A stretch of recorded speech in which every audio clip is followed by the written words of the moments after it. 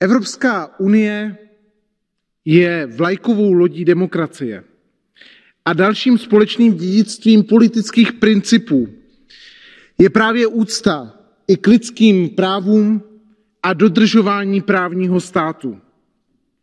Právní stát je alfa i omega veškerého dění v Evropské unii. A proto je možná strašně důležité, aby se právní stát jako princip dodržoval. Ano, mají ho dodržovat členské státy, to tady bylo několikrát, eh, několikrát tady bylo zmíněno. Ale co když členské státy, kteří tvoří Evropskou unii, ho nedodržují? Co když členské státy zapomněli na to, k čemu se zavázali na začátku?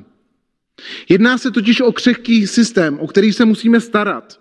Správně nastavené soudnictví, protikorupční systém, nebo také nezávislá policie, svoboda projevu, svobodné volby.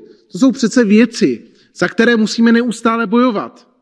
Pořád vidíme, že někdo přichází, nějaký spasitel, nějaký oligarcha, který si myslí, že si nás všechny koupí a bude diktovat podmínky tak, aby vyhovovali jeho, jemu a jeho firmám.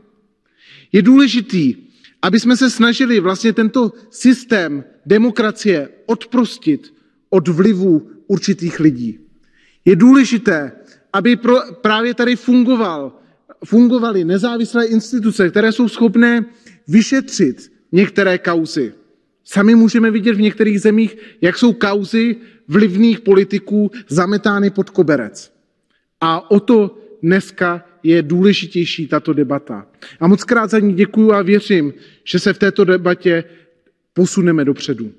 Krásný den.